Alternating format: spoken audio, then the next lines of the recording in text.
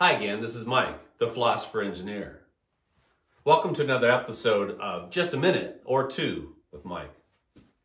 Today's topic is building on the strongest abilities. This is very a very important point. This week we're focused on the value of resourcefulness.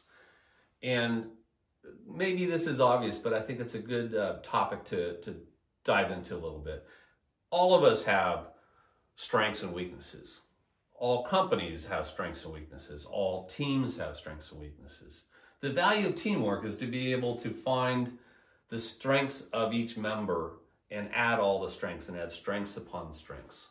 And that's the key. Now, obviously, that requires an understanding of what uh, of what people's strengths are, what their style is, and what their behaviors are, their drives, so that you can put them in a position where they perform the best. So when you have the right person in the right role, that means that you're really leveraging their strengths.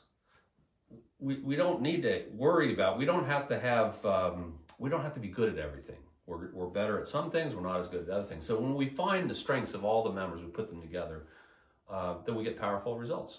So try to find those strengths. I work with a lot of consulting companies, and those consulting companies also have strengths and weaknesses. And when I recommend those teams, those companies, I recommend them on their their clear strengths. And then you start out with a win right from the beginning. So maybe it's an obvious point, but it's worth um, emphasizing and remembering that we're trying to identify the strengths and we're combining um, the strengths and we build on those strongest abilities across the board. When we do that, we get great results, and that's the key.